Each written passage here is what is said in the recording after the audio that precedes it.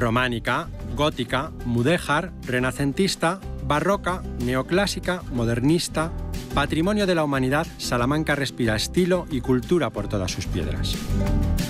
También audacia y grandeza, el vanguardismo de cada época que se mantiene vivo como el primer día. Lo respiras desde que entras por su ya centenario puente de hierro. Es una ciudad en la que muchos sueños se han hecho realidad a lo largo de la historia. Algo de lo que dan fe sus piedras, sus calles, sus edificios, como este que alberga el Museo de la Automoción. Un sueño inesperado en una villa como esta. Un sueño con nombre propio. De espíritu inquieto, imparable, amante de la técnica y de la mecánica por tradición familiar, Demetrio Gómez Planche ha visto cumplido su anhelo de convertir en museo su propia colección de coches.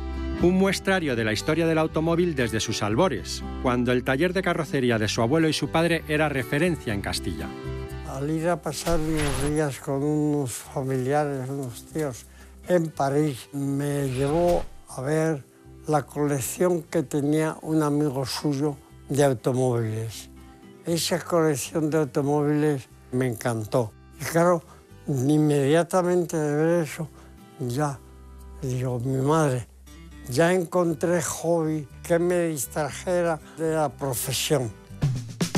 Y ese Salmson fue el primer coche de una colección de la que hoy se hace cargo el Ayuntamiento de Salamanca y a la que ha ido incorporando piezas muy importantes. Por eso aquí podemos encontrar desde una de las 80 réplicas existentes en el mundo del primer automóvil construido por Daimler-Benz a propuestas tan actuales e inéditas como los hispano-suiza cedidos por el estudio de ingeniería Mazel, que hizo un intento de recuperar tan histórica marca. Pero este museo de automoción va más allá camiones de bomberos de principios del siglo pasado, motos, bicicletas, coches de pedales, miniaturas, historias sobre ruedas que duermen un letargo de lujo como escaparate de la vida cotidiana de más de 100 años. Quizá no sea el museo más conocido, ni tampoco el más visitado. No está en todas las guías turísticas, pero cuando el viajero lo descubre se rinde ante su fascinación por lo que aquí se encuentra. Vives la diversidad del mundo del automóvil, que va desde los Rolls hasta la Fórmula 1 actual, coches de carreras y de calle, de reyes y de jefes de Estado, como el Cadillac de Franco, pasando por piezas como el 600 que motoriza España, hasta la hoy codiciada Cota 25 de Montesa, con la que muchos dimos nuestros primeros pasos sobre dos ruedas. Pero el museo también cumple más funciones para la sociedad castellana.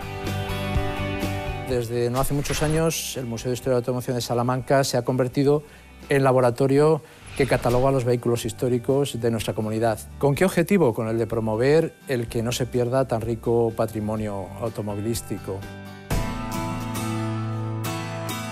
Casi una epopeya, una bonita historia de toda una vida dedicada al mundo del automóvil. Eso es lo que se guarda aquí, en el museo más sorprendente que puedes encontrarte hoy en Salamanca.